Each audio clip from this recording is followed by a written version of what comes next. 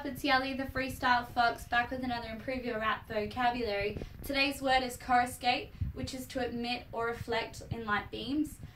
Deriving from the 18th century Latin coruscat, meaning glittery, and it can also be used as a term to refer to something or someone as brilliant or showy in technique and style.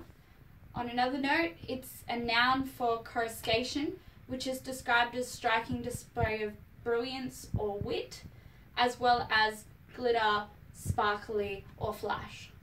Anyway, let's use coruscate in a freaking track.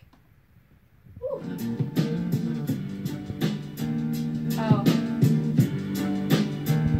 They say that I should meditate, so I go meditate because I'm gonna coruscate from within. You know I'm shining great. I'm trying to become something, so I wanna elevate. But the way I do this, is on that levitate to staying on another level.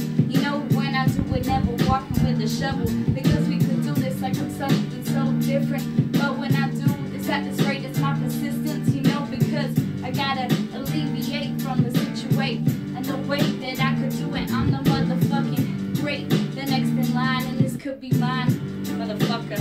Didn't even mean to shine when I did that so glittery